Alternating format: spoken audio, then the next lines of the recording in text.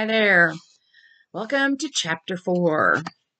So, in chapter four, we're going to take all those little bits and pieces that we've learned so far, along with a couple of new concepts, and we're going to begin to learn how to read an artwork. Now, we have the elements and the principles. We have the medium, that is to create the art. And this week, we're going to throw in representation uh, which is also known as the artworks form, and style. Now, please pay attention to these concepts because they will be used later. Hint, hint in the final. Now, this chapter does have an extra assignment. If you have any questions about it, please let me know. Do not wait until the last minute to start it. It's going to take some additional time and it's going to take some research.